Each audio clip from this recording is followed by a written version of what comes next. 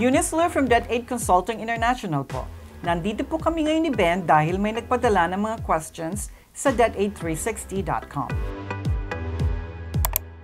Question ni Ate Laura from Auckland, New Zealand. Ben, dahil sa COVID-19, marami na dito ang nawala ng work. Will we be facing another financial recession?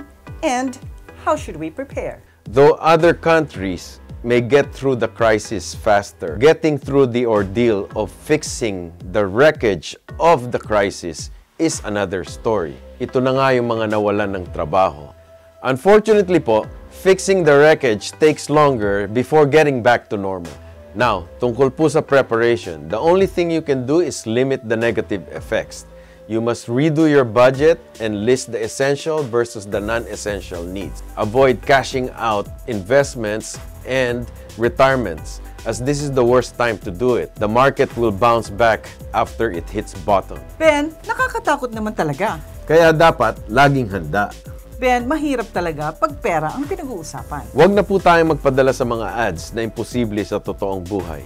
Sa over 35 years ko sa finance ay wala pa po ako nakitang magic sa utang. And we never pay for testimonials. So, until sa next question, dito po sa Itama po natin. Debt Aid Consulting International, now open in Asia Pacific.